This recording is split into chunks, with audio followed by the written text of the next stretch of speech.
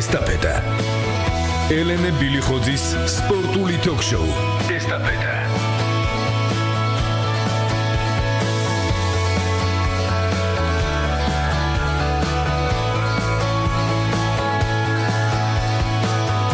მოგესალმებით ეთერშია სპორტული თოქ-შოუ ესტაფეტა მიკროფონთან ელენე ბილიხოძე. წარმოგიდგენთ დღევანდელი ჩვენი გადაცემის დუმარ სპორტის დეპარტამენტის თავმჯდომარე ირაკლი დოლაბერძე. შემოგვერთით 240-91-92-240-92-92 კითხვა და მოსაზრება კი ჩვენს ვებგვერდზე გამოგვიგზავნეთ. თავარი სპორტული მოვლენების მიმოხილვა, კომენტარი, ანალიზი, მიღწევები და განცდილი მარცხი. მედალი და ხალხის აღიარება. ესტაფეტა სპორტული ток-შოუ რადიო პირველ არხზე. ყოველ საღამოს 8:10 წუთზე. ყველაზე ამაღელვებელი და აზარტული. სპორტის სამყარო. ელენე ბილიხოძის გადაცემებში.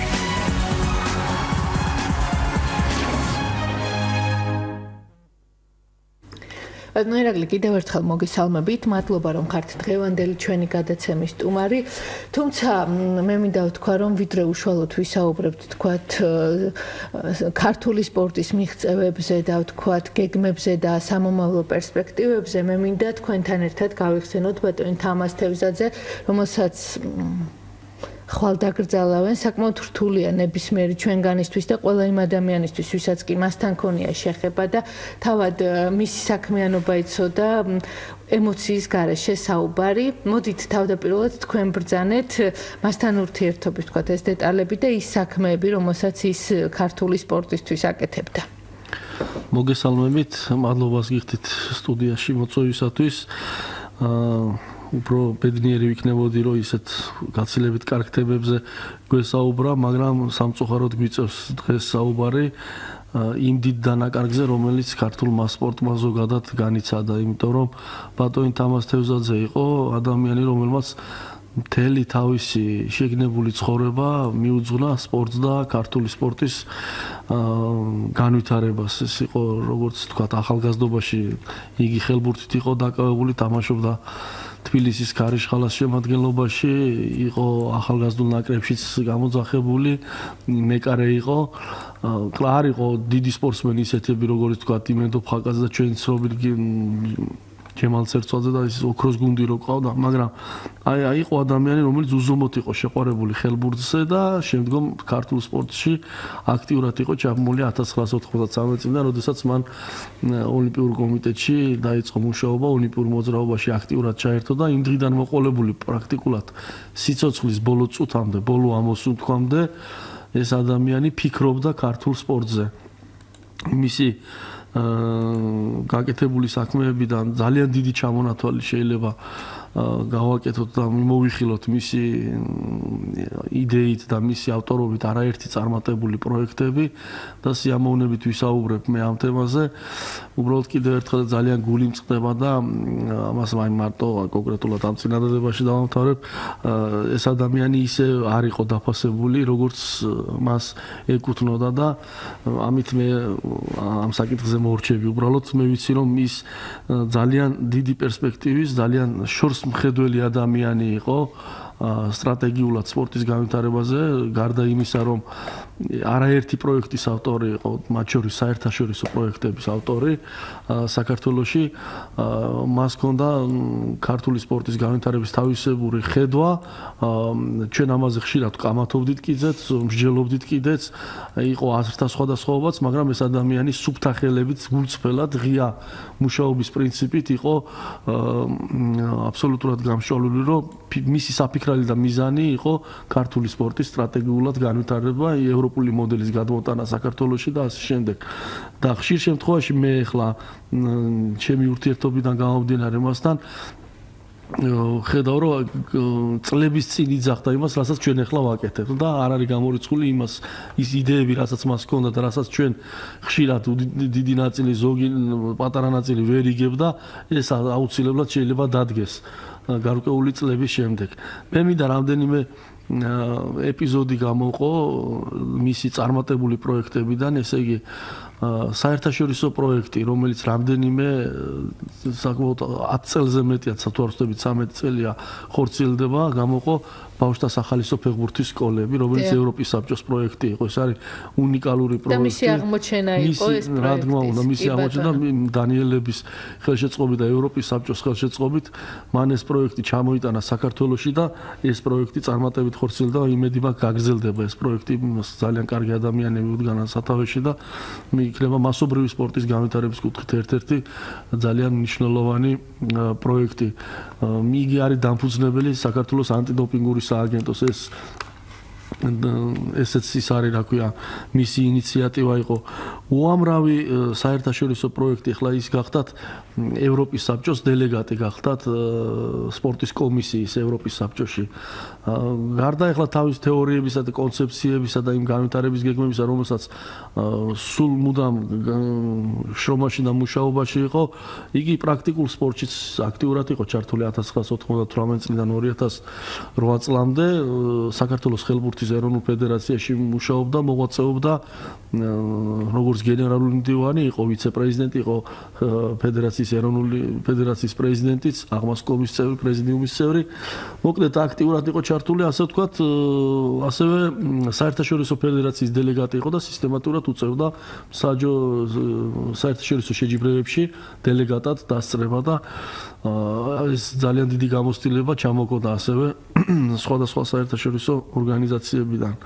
ჩვენ იგივე მისი იდეა ვთქვა საკლუბო სისტემის განვითარების და დანერგვის შესახებ ყოველთვის ამბობდა რომ დადგება დრო, როდესაც ყველანი ვაღიარებთ რომ საკლუბო სისტემა გადაარჩენს მთლიანად ქართულ სპორტს. გეთახმებით, საკლუბო სისტემაზე გადასვლა სხვათაშორის მე წარმატებულად მინდა გითხრათ რომ აი ძიუდოს ძიუდოს მაგალითმა ცხადყო რომ ეს კლუბური სისტემა ჯერთი ევროპაში ყველა ამ საკლუბო სისტემაზეა გადასული.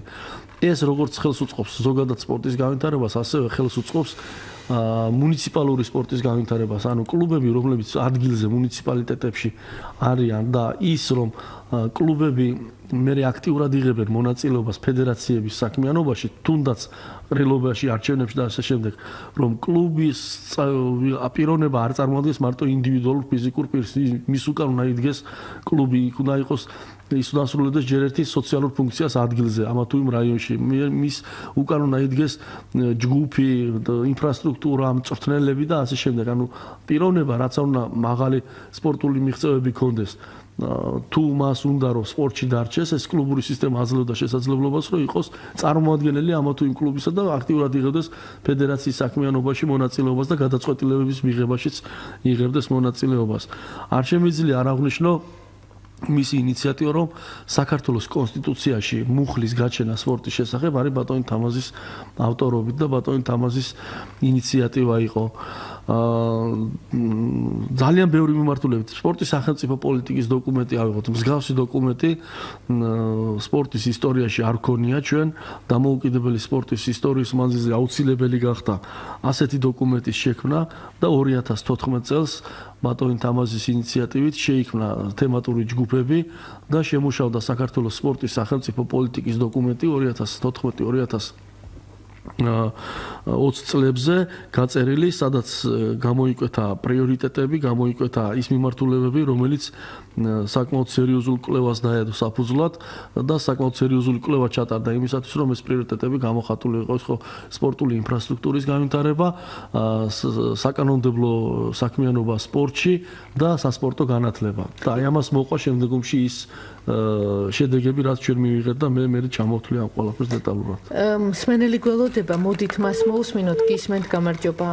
გაითიშა იმედია მსმენელი კლავ შეგვეხმიანება. დიახ, აი როდესაც ჩვენ ვსაუბრობთ თქვათ აი ამ პერსპექტივებზე, მოდით ძიუდოს მაგალითი ვთქვით, მაგრამ იგივე საკლუბო სისტემა დგება უკვე ეტაპი, რომ ყველა სპორტის სახეობამ დაიწყოს თუნდაც თქვათ რაღაც მონახაზი საკლუბო სისტემის დანერგვის პროპაგანდა. თუნდაც.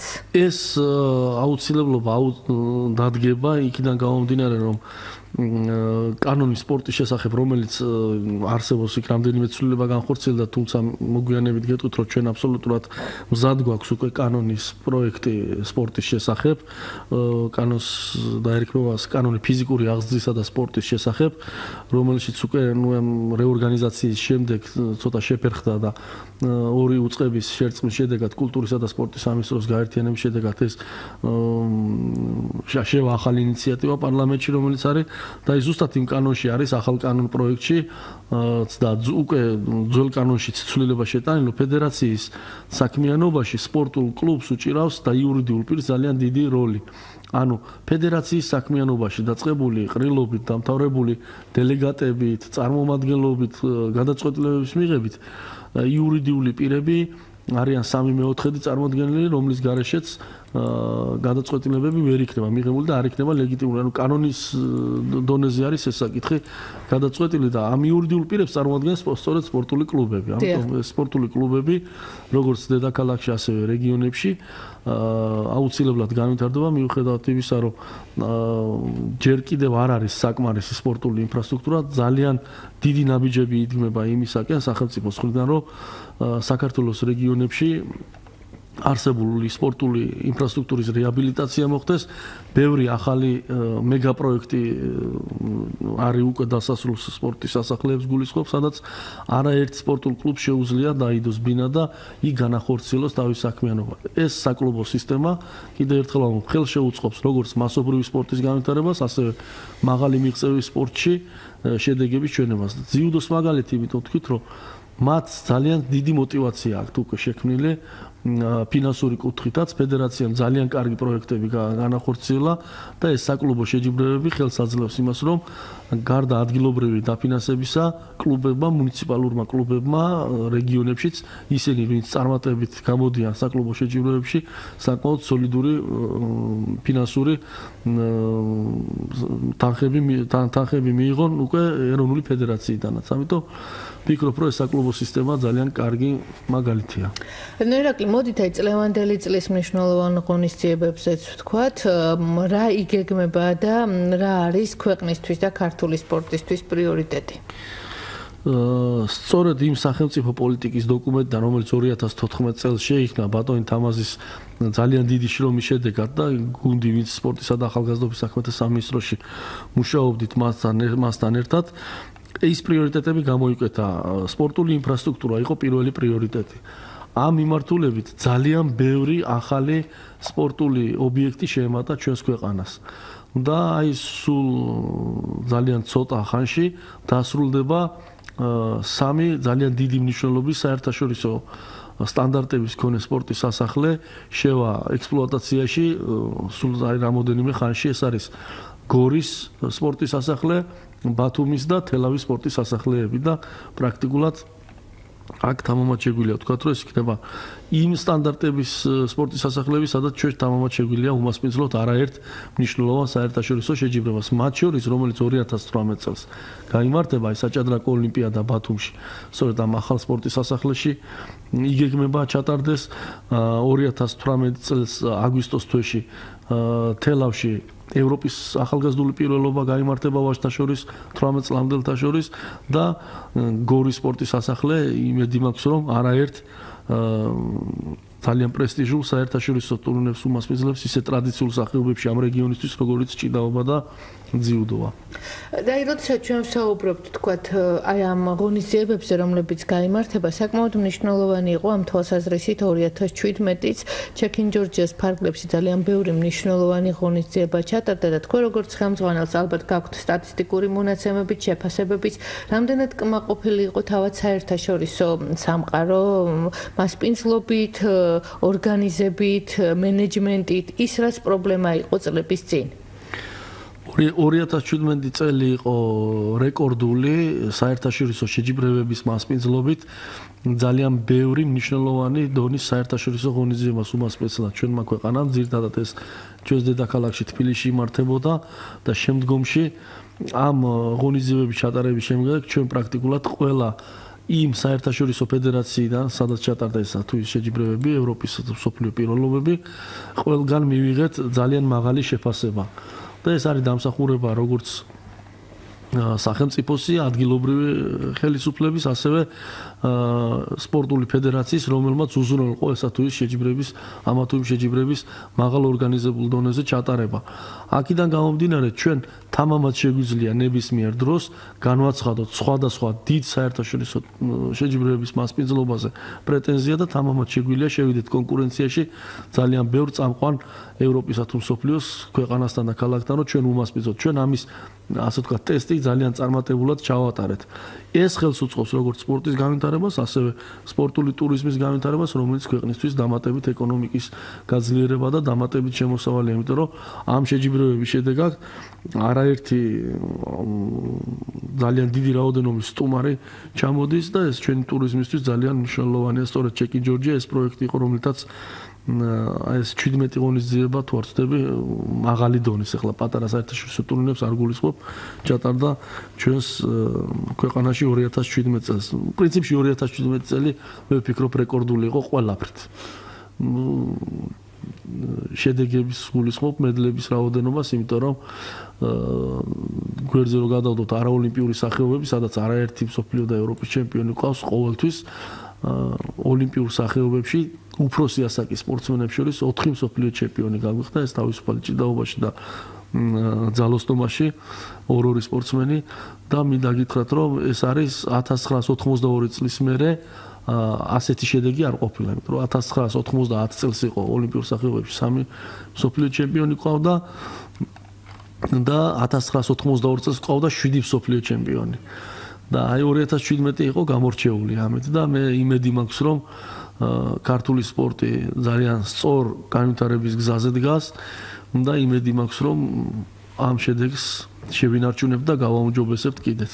მოდით კიდევ ერთი ძალიან მნიშვნელოვანი მიღწევის შესახებ ვთქვათ. შარშან ჩვენ ეს გამოკითხვა წავაგეთ წელს ლაშა ტალახაძე ფაქტურად ყველა უძლური აღმოჩნდა და მსოფლიოში საუკეთესო ძალოსნად აღიარეს. Ну ახლა ლაშა ტალახაძე რო არ დაესახელებინა გამოკითხვა იქნებოდა პრაქტიკულად ძალიან დიდი ეჭვის ქვეშ იმიტომ რომ ამ ბიჭმა თუ რამე არსებობდა დედამიწის ღერძის გარდა ყველაფერი აწია და სასწაული ფენომენალური ნიჭი და ღონე და ძალა გამოავლინა და მე მინდა კიდევ ერთხელ მიულოცო ჩვენს ქვეყანას. კიდევ ერთი ქართველის აღიარება სოფლიო მასშტაბით ეს არის არა მარტო შეჯიბრებაში გამარჯვება, ეს არის უკვე სოფლიო აღიარება, საზოგადოებრივი აზრის შექმნა იმისთვის, რომ სოფლიოში ყველაზე უძლიერესი კაცი არის ქართველი კაცი და მე მინდა მასაც მიულოცო და თითოეულ ქართველს ყველა გულშემატკივარს, რომ ჩვენი ლაშა ტალახაძე მართლაც ჩემპიონია და სხვათა შორის ჩემპიონია არა მარტო სპორტში, სპორტის გარდა არსებობს მედლის მეორე მხარეც ის ძალიან წესიერი ახალგაზრდაა და მე აი ვისურვებდი რომ ყველა ახალგაზრდა მისგან აიღოს მაგალითი ზნეობის წესიერების აღზრდის საუკეთესო მაგალითია თვალსაჩინო მაგალითია და მე სარგებლობ შემთხვევით და პირველ რიგში მის ოჯახს მინდა მადლობა გადაუხადო და შემდგომში რა თქმა უნდა მწვრთნელებს პრობლემაც იზრუნეს მის არამატო გაზრდაზე, არამედ აღზრდაზე და შედეგმაც არ დააყოვნა. მადლობა ღმერთს ამისთვის, რომ ჩვენ ესეთი ძლიერი კაცი ყავს, ქართველი არის და ამ ტიტულს ჩვენ ფიქრობ, რომ წესი ძალიან დიდი ხანი უნდა შევინარჩუნოთ. მართლაც საოცარი ადამიანი და მოდით ზამთრის ოლიმპიურ თამაშებზეც თქვათ, თქვენ პარაოლიმპიადაზე მიემგზავრებით ზამთრის სახეობებს გულისხმობ, თუმცა მანამდე შევაფასოთ პიონჩანგის ოლიმპიური თამაშები და აი რა სიტყვით იმ დოპინგ სკანდალებზე, რომელიც აი ამ ოლიმპიადას ახლდა თან. Ну თელი მსოფლიო შეძრა ჯერი სკანდალმა რაც დოპინგ დოპინგის შეჭავარდნილ სპორტსმენებს ეხება და მეორე იყო უკვე ეს ბოლო პერიოდში სააპელაციო იმის ეგრეთ წოდებული სპორტის სააპელაციო ის კასი რაცაც არის ის ორგანიზაცია იმის გადაწყვეტილება იმიტომ რომ ძალიან დიდი ნაწილი უკმაყოფილო იყო ამ გადაწყვეტილების სპორტსმენების დაშვება არ დაშვებასთან დაკავშირებით ზუსტად ის არის თანამედროვე სპორტის გამოწვევა აქაც ბატონი თამაზის იმას გავიხსენებ რომ მისი ინიციატივა იყო სამართლიანი თამაშების ეგრეთ წოდებული fair play-ის ფედერაციის დაფუძნება საქართველოში და ასევე ანტიდოპინგური მოძრაობის დაფუძნებაც რომელიც გამოძახილი იყო თანამედროვე სპორტის და უკვე დღეს ის ჩვენი ანტიდოპინგური სააგენტო ძალიან წარმატებით მუშაობს და ახორციელებს თავის საქმიანობას. აა ჩვენ შეიძლება ნაკლებად გვეხება ახლა ეს სპორტსმენების ჩავარდნის საკითხი ზამთრის სახეობებში. რუსი სპორტსმენები ჩავარდნენ თუ არ ჩვენ ჩვენი პრობლემა გვაქვს ის რომ რაც შეიძლება მეტი მონაწილე გვინდა ყავდეს ზამთრის ოლიმპიურ თამაშებში და მე ვსარგებლობ შემთხვევით და გუშინ გაემგზავრა დელეგაცია კორეაში და მინდა წარმატება უსურვოთ ჩვენს 4 სპორტსმენს ვიცით რომ მოთხილამურეები გამოდიან იასონ აბრამაშვილი გამოცდილი უკვე მეოთხე ოლიმპიური თამაშებია მისთვის. ნინო ციკლაური რომლისთვისაც მესამეა და რომლისთვისაც მესამეა მან შეასრულა სწორედ ფიცის დადების ცერემონია ოლიმპიურ კომიტეტში. რაც შეეხება მოციგავს ეს ახალგაზრდა სპორტსმენი ბაკურიანელი ბიჭი საღოიანი რომელმაც მოიპოვა ლიცენზია და გამოვა შეჯიბრებაზე ჩვენ ძალიან კარგად გვახსოვს ის მწუხარე დღეები როდესაც სპორტის სამსახეობაში ჩვენი ქართველი სპორტსმენი კუმარიტაშვილი დაიღუპა კანადაში ოლიმპიურ თამაშებზე და აი იმ ტრაგედიის შემდეგ მე არ მეგონა თუ ესე სწრაფად შეძლებდა კიდევ მწვრთნელი კადრის მომზადებას რომ ოლიმპიურ თამაშებზე გაგვეყვანა ჩვენ ეს სპორტსმენი ახალგაზრდა სპორტსმენი რომელიც პრაქტიკულად სულ საზღვარგარეთ არის ემზადება ძირითადად ლატვიაში ემზადება შეჯიბრებებში მონაწილეობისათვის და აი ყავს ლიცენზიანტი. ასევე ახალგაზრდა მოციგურავე ყვითელაშვილი რომელმაც გაგვახარა და ერთ-ერთმა პირველმა მოიპოვა ზამთრის ოლიმპიური თამაშების ლიცენზია და მე მინდა მას წარმატებები უსურვო.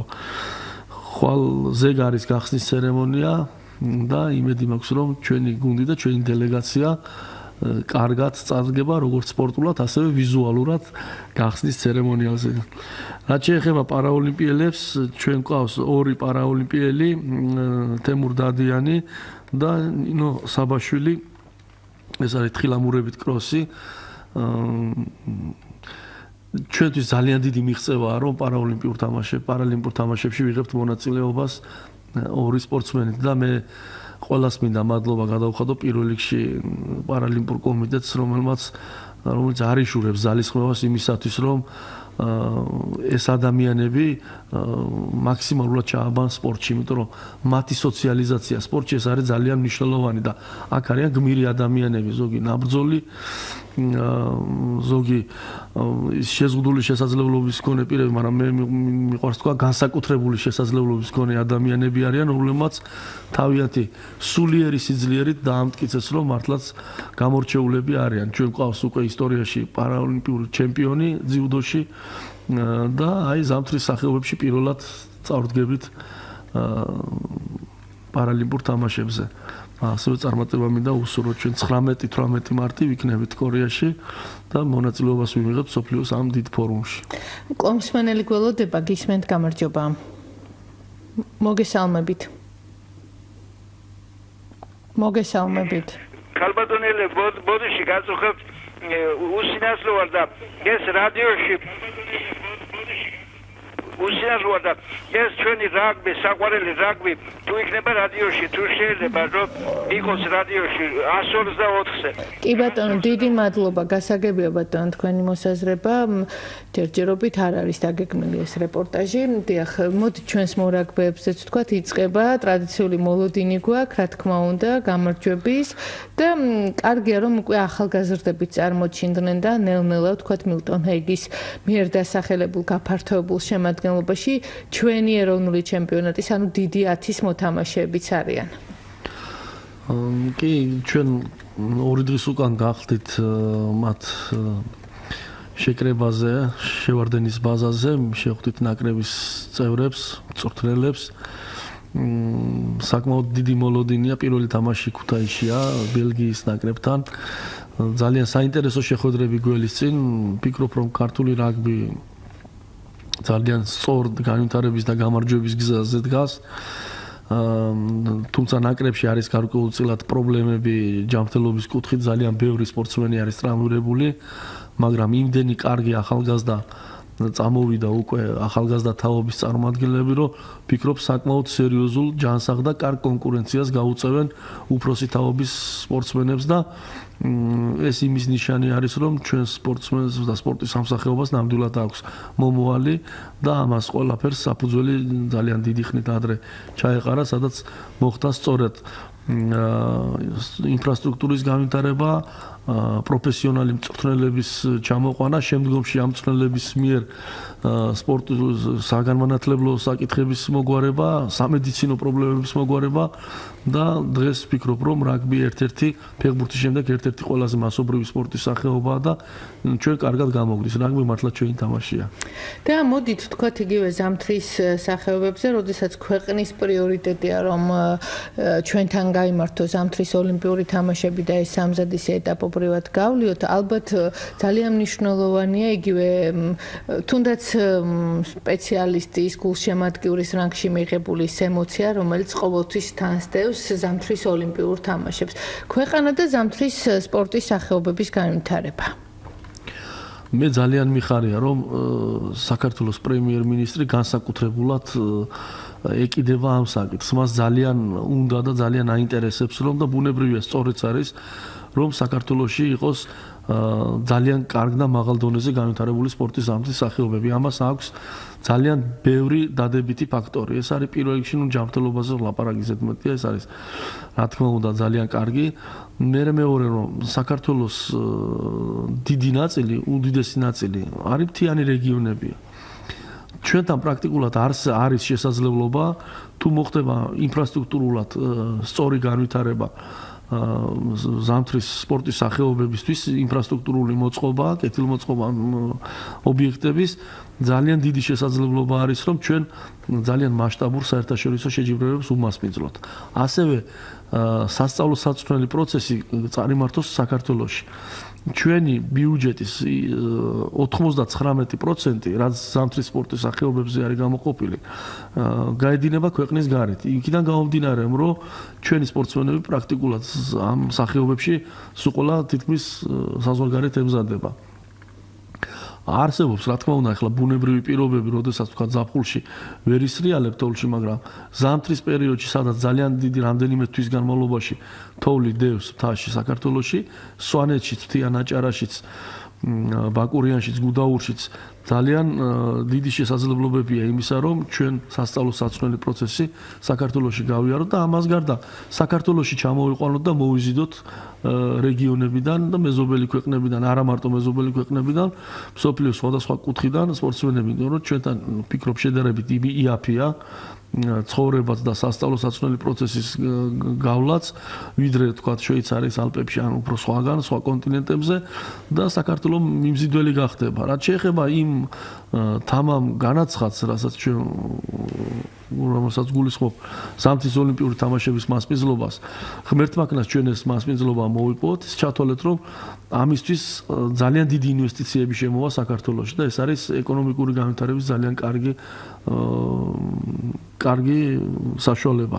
და მე მინდა ისიც აღნიშნო რომ ოლიმპიური თამაშების მასპინძლობამდე არსებობს შესაძლებლობა რომ ჩვენ იგივე როგორც ზაფხულის ოლიმპიურ ფესტივალს უმასპინძლეთ ახალგაზრდულს თბილისში თბილისი 2015 რომ შეიძლება საქართველოს უმასპინძლოს რატომაც არა ზამთრის ახალგაზრდულ ოლიმპიურ ფესტივალს რომელიც უფრო მარტივია. ჩვენ რაღაცით უნდა დავიწყოთ და რა თქმა უნდა მთავარი მიზანი შეიძლება იყოს დიდი ოლიმპიური თამაშების ჩატარება.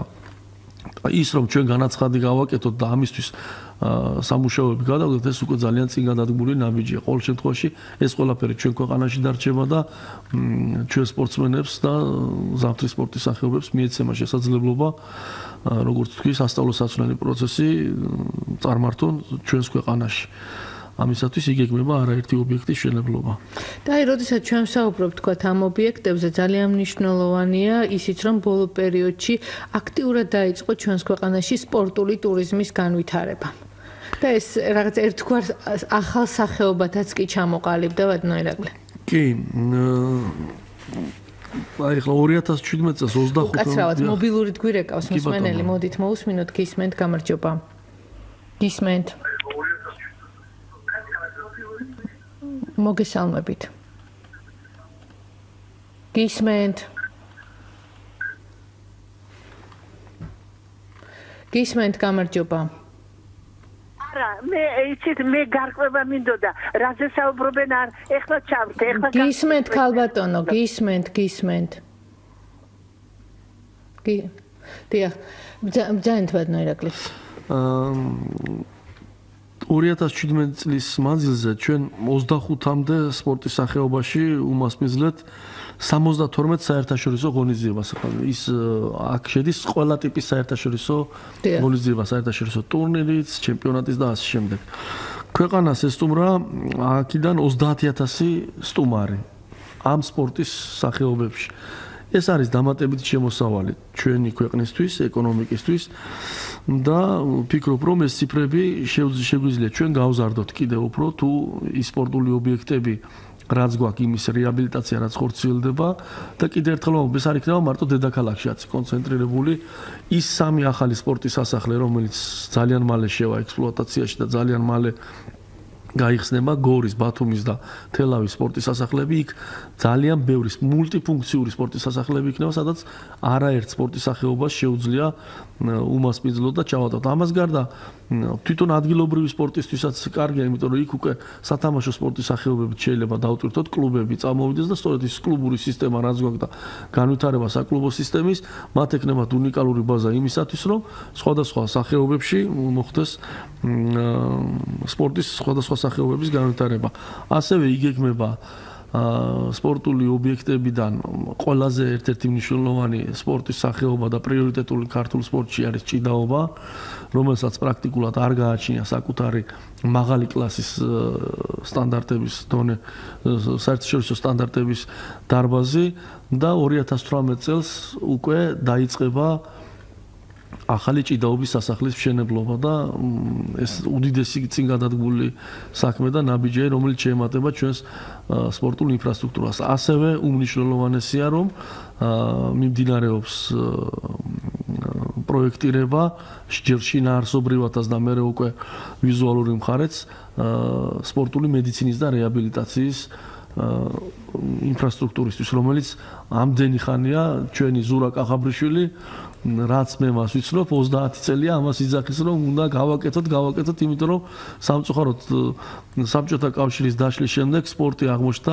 ინფრასტრუქტურულად ყველაზე ღარიბ მდგომარეობაში იმიტომ რომ სპორტული ობიექტების დატაცება და გაუქმება და განადგურება მოხდა და ამიტომ ჩვენ სპორტული მეცნიერების გარეშე და მედიცინის გარეშე თანამედროვე სპორტის განვითარება წარმოუდგენელია. სმენელები გველოდებიან გისმენთ გამარჯობა. მოგესალმებით. მოგესალმებით. ბატონო ირაკლი, იქნება ორი სიტყვა თქვა იმ სამართლინო შედეგი შესახებ, რომელიც საქართველოს ფუტბოლთა ნაკრებმა დააფიქსირა უსუსტეს მარკოს ნაკრებთან. აი თავად განსაჯეთ, წინა დევისის თასის გათამაშებაში ბასილაშვილმა წააგო გაცილებით სუსტ მეტოქესთან. ამის შემდეგ წავიდა კომერციულ ტურნირებზე და ძალიან ძლიერი მეტოქეები დაამარცხა. ერთი მისმა ასევე სუსტ თამაშმა ყოველ გვარმოლოდინს გადააჭერა. დამარცხა მერვა ასე თუ არ ცდები და მეხუთე რეიტინგის კონე სპორტსმენებთან და იქ ავიხსნა ძაში. კი ბატონო, დიდი მადლობა კიდევ ერთი მსმენელი გისმენთ გამარჯობა. მოგესალმებით.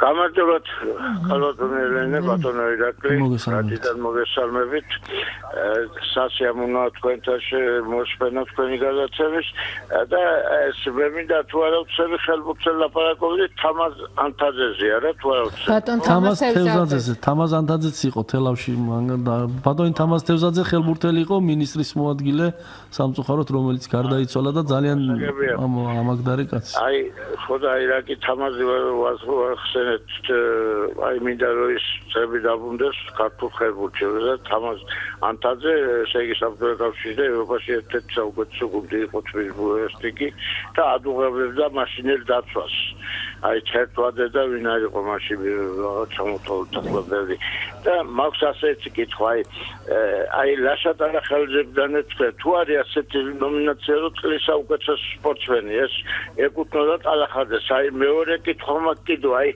ის არის ბატონო წლის საუკეთესო სპორტსმენი. არა მაგრამ ეს როგორ ძალოსანი მაგრამ საერთოდ. კი საუკეთესო სპორტსმენია ოლიმპიური კომიტეტის ვერსიით და სპორტულ ჟურნალისტთა ასოციაციის ვერსიით აღიარება ძალოსნებს შორის თუ თუ საერთოდ საქართველოს საუკეთესო სპორტსმენია ლაშა ტალახაძე 2017-2018 ამბობთ როგორც სოფლიოს საუკეთესო სოფლიოს საუკეთესო ძალოსნათაც აღიარეს გუშინ წინ დიახ ხო, დაი კითხვა მაგასე, აი გამარჯვებები გვაქვს, მაგრამ აი მოვლოდნელი იყო რაღაც არ ველოდი მაროკოსთან წაგებას ჩოგბურთზე, აი რა სიტყვით ამის. კი ბატონო, დიდი მადლობა. მადლობა, მადლობა. მადლობა ყურადღებისთვის, მადლობა მსმენელს. ეს ბატონი ძალიან აქტიურად ერთვება ხოლმე ყოველ გადაცემაში. რაჭიდან მიხარია მე მას შევხვდი კიდეს რაჭაში ერთ-ერთ ღონისძიებაზე. მეორე კითხვა, ორი კითხვა იყო და ორივე ჩოგურცეხებოდა ეს სამწუხარო მარცხი, რომელიც ჩვენმა ჩოგურთელებმა განიცადეს. რა გითხრათ სპორტსმენების მომზადებაში, მათ კვალიფიკაციასა და შეჯიბრებაში გამოსვლაზე, რა თქმა უნდა, პასუხი არის თავად სპორტსმენებისგან მოსასმენი და ეროვნული ფედერაციისგან. მე მესმის, ჩვენც ძალიან ბევრი კითხვა გაგვიჩნდა და გვებოდა ძალიან წუხართ, რომ ეს შედეგი ესეთ ასეთ მნიშვნელოვან ღონისძიებაში დადგა და აბსოლუტურად ვიზიარებ იმ პათოს რიგითი გულშემატკივარის საერთოდ რო არ მუშაობდა სპორტში რომ რატომ არის რომ როდესაც კომერციულ ტურნირებში გაცილებით მაღალი შედეგი მიღწევაზე თამაშობენ ჩვენი სპორტსმენები და მაღალ შედეგს აჩვენებენ და ამ დევისის თასზე არა. გასაგებია მესმის შეკითხვები. ალბათ ამ კითხვებზე ფედერაციამ უნდა გასცეს პასუხი. დიახ, აუცილებლად იქნებიან თავად ფედერაციის წარმომადგენლები და ისინი დეტალურად ისაუბრებენ თქვა აი ამ პრობლემების შესახებ. დაუბრუნდეთ სათამაშო სახეობებს. ფეხბურთი ისევ მტკივნეულ პრობლემად რჩება და შემდგომ კალათბურთზეც ბზანეთ. როგორი იყო თქვა აი ორივე სახეობისთვის 2017? ну, პრინციპში 2017 წელი ფეხბურთისთვის და კალათბურთის შეიძლება შედეგებით ძალიან მნიშვნელოვანი არ იყო ეროვნულ დონეზე. თუ არ ჩავთვლით ზაზაფაჩულიას წარმატებას NBA-ში გამარჯვებას. ფიქრობ რომ კალათბურთს და ფეხბურთსაც ძალიან კარგი საფუძველი აქვს იმისათვის, რომ უახლოეს მომავალში ძალიან კარგი შედეგები აჩვენონ. ფეხბურთში მოიხსენებათ რაღაც ცვლილებები განხორციელდა საერთაშორისო მასშტაბითაც და ახალი ტიპის საშეჯიბრო სისტემა შემოგთავაზა და ახალი საერთაშორისო დონის შეჯიბრება შემოგთავაზა საერთაშორისო ფედერაციამ. და ეს ფიქრობ მეც შესაძლებლობას მიცემს ჩვენ სპორტსმენებს კიდე უფრო მეტი შანსი გვაქვს გამარჯვებების და წარმატებული წარმატების მიღწევის, რომელიც ძალიან მნიშვნელოვანია, იმიტომ რომ ესე იგი თელი წლის განმავლობაში ინდივიდუალურ სახეობებში არაერთმა ოქროს მედალმა შეიძლება გაგვახაროს, მაგრამ ფეხბურთში ერთმა გამარჯვებამ შეიძლება შემდგომში სტადიონიც გაავსოს და აი გადაწონოს ყველა და ყველაფერი. ნუ რა ვთქვათ, ფეხბურთი არის ფეხბურთი და დანარჩენი სპორტის სახეობები, იმიტომ რომ ძალკე სახელმწიფოა, ასე ვთქვათ, სახელმწიფოში. აა რა გითხრათ, აი ფეხბურთის განვითარებას, ნუ ალბათ 1 საათი და 2 საათი არ გვეყოფა ამას სასაუბროთ, უბრალოდ შედეგი ჩვენ ყველამ ვიცით რომ 10 წლეულების განმავლობაში ვანგრიეთ ქართული ფეხბურთი. და ეს შედეგი მივიღეთ და აუცილებლად მივიღებდით ამას. დღეს ის მასობრიობა რაც ფეხბურთს აქვს, რა თქმა უნდა არ არის ეს საკმარისი, მაგრამ ამდენი ბავშვი ვარჯიშობს ძალიან დიდი ინფრასტრუქტურა იქნება აი რვა მოედანი ახლა შენდება მარტო თბილისში ახალი საფეხბურთო მოედანი. ის რაც ფეხბურთის განვითარების ფონდში მოხდა აკუმულირება აა მუნიციპალიტეტებში გაბნეული სპორტის დაფინანსების და ახლა ამ საკლუბო კლუბების საბაზო დაფინანსება რომელიც სხვადასხვა კალათბურთსაც, რაგბისაც და ფეხბურთსაც მიეცა და ესეთი ექნება ახლა ფრენბურთსაც და ხელბურთსაც.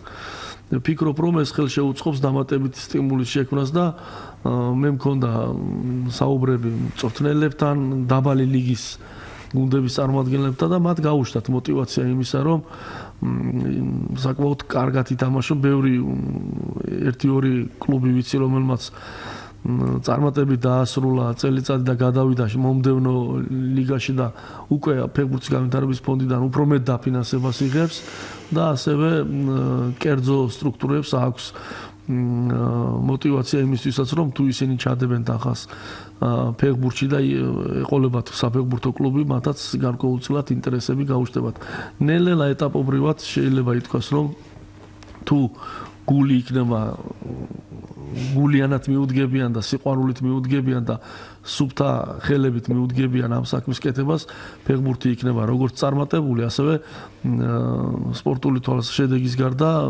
შემოსავლიანი და საკმაოდ საინტერესო ბიზნეს პროექტების განხორციელება შეიძლება. ამიტომ მე ვისურვებდი და მოუწოდებდი კიდევაც ბიზნესმენებს, რომ დაინტერესდნენ ამ საკითხით, მიმართონ ქართული ფეხბურთის განვითარების ფონდს, ფედერაციას და ისინი არაერთ საინტერესო წინადადებას მიიღებენ, იმიტომ რომ ფეხბურთი გარდა სპორტისა არის უფრო მეტი ვიდრე სპორტი. და იგივე ბავშთა ფეხბურთშიც უკვე იდება ინვესტიცია და ეს ფონდი ცდილობს რომ არა მხოლოდ დიდი კლუბები და ვთქვათ ეროვნულ ლიგაში მოთამაშე კლუბები დაფინანსდეს, არამედ ქვედა ლიგებსაც ექცევა უკვე ყურადღება და ეს ძალიან მისასალმებელია რომ სახელმწიფოს პრიორიტეტია ვანერა. მე რამდენადაც მაქვს ინფორმაცია ფეხბურთის ფონდი რა პრინციპებითაც აფინანსებს საბაზო დაფინანსებას აძლევს სხვადასხვა ლიგის კლუბებს მათ კრიტერიუმებში აუცილებლად აქვთ რომ აუცილებლად უნდა ყავდეს ბავშვთა საფეხბურთო სკოლები და კლუბები და ეს კიდე დამატებითი мотиваცია არის და მასობრივი სპორტის და მასობრივი ფეხბურთის განვითარების გარეშე დიდი ფეხბურთი ვერ იქნება ვერასოდეს. ამიტომ საქართველოს ნიჭი ყოველთვის იყო, უბრალოდ ამას ჭირდება მასობრივად ჩაბმა ამ ბავშვების და კარგი ინფრასტრუქტურა და კარგი მწვრთნელები და სამწვრთნელო განათლების კუთხითაც ვიცი რომ ფეხბურთის ფედერაცია აქტიურად მუშაობს და ამ მიმართულებითაც ვფიქრობ რომ წარმატება გვექნება. და მე მინდა ჩვენს მსმენელს უთხრა თქვენ აქ გაქვთ მოტანილი მონაცემი 3341 მედალია 4 წლის განმავლობაში 2013-დან 2017-მდე მოპოვებული ქართველი სპორტსმენების მიერ და მათგან 1102 ოქროს მედალი. ეს არის უმნიშვნელოვანესი შედეგი მოზარდი თაობისთვის, ვეტერანისთვის, ტრადიციისთვის და მომავლისთვის, რომელიც აუცილებლად უნდა გაგრძელდეს. ნამდვილად ასე ვთქვათ, სპორტი იზომება შედეგებით, მედლების რაოდენობით, დაწყებული საქმეებით და რადგანაც ჩვენ დავიწყეთ საუბარი ბატონი თამაზის ინიციატივებით აი ამ პერიოდში ზუსტად მას ცოტა ადრე 2015 წელს მოუწია სამწუხაროდ სპორტის სამინისტროს დატოვება. 3351 მედალი. 1102 ჯერ ამ 4 წლის განმავლობაში აღჟღერდა ჩვენი ქვეყნის ჰიმნი სხვადასხვა სოფლიო სხვადასხვა ქალაქებში, სხვადასხვა კუთხეებში და ასობით და ათასობით ადამიანი იდგა ფეხზე და უსმენდა ჩვენი ქვეყნის იმს. მათ შორის ძალიან ბევრი აღჟღერდა ჩვენს მეზობლად, სადაც ზოგიერთი განსაკუთრებულად უსვამს ხალხს ხოლმე, რომ აი ჩვენ საქართველოს იმნი ავაჟღერეთ რუსეთში. მე ამას დიდ მნიშვნელობას ძალიან არ ვანიჭებ, უფრო სპორტული კუთხით უყურებ, თუმცა რა თქმა უნდა, ძალიან დიდი სიამაყე იყო ჩემთვის პირადად ის, რომ ჩელიამისკის არენაზე, სადაც რუსეთის პრეზიდენტი ესწრებოდა მარიამობა დღეს ალთანჯელ ჭრიკიშვილმა ფეხზე წამოაყენა მთელი დარბაზი და აჟღერდა საქართველოს სიმნი გამარჯვებულის პატივსაცემად. ასე რომ სპორტი არის ერთადერთი ის მოვლენა და ის შემთხვევა, როდესაც გამარჯვებულის პატივსაცემად იწევა ქვეყნის დროშა და ჟღერს ქვეყნის სიმნი. იხსა ივარჯიშონ ყველას მოუწოდებ მასობრივად ჩაერთონ სპორტში დღეს უკვე ამის შესაძლებლობა არსებობს სხვათა შორის ციფრები ვახსენე და 2013 წელს იყო 33000 რეგისტრირებული სპორტსმენი, სპორტით დაკავებული ადამიანი და დღეს ეს ციფრი 125000-მდეა გაზრდილი. ეს არ არის დიდი ციფრი, მაგრამ ზრდის დინამიკა თვალსაჩინოა. ჩვენ გვინდა გაცილებით მეტი, იმიტომ რომ 1918 წელს 100000 ტანმოვარჯიშე იყო მარტო საზოგადოება, სპორტ საზოგადოება შევარდენში.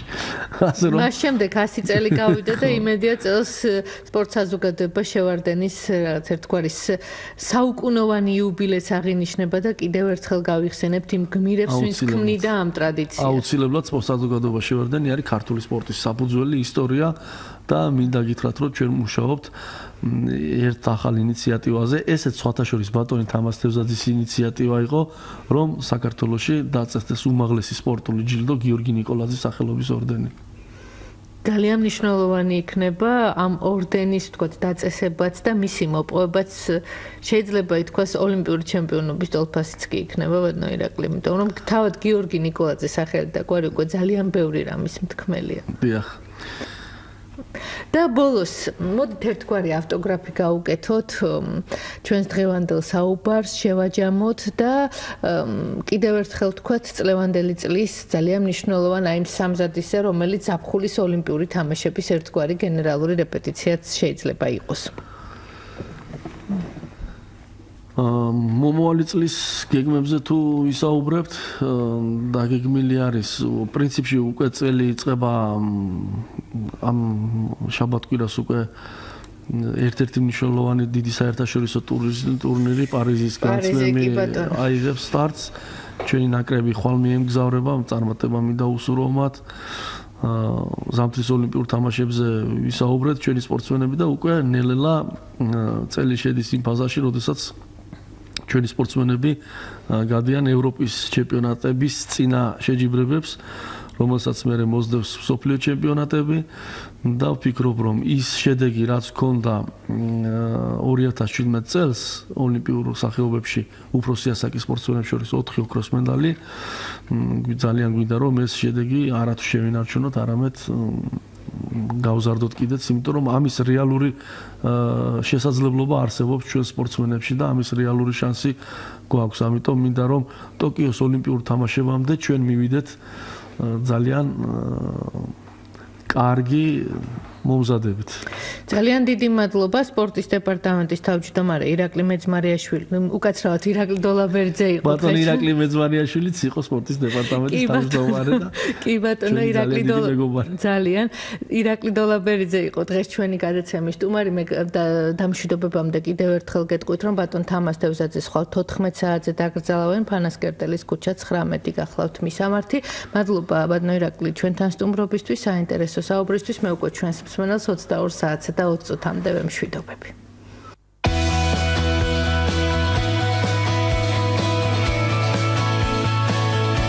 ესტაფეტა.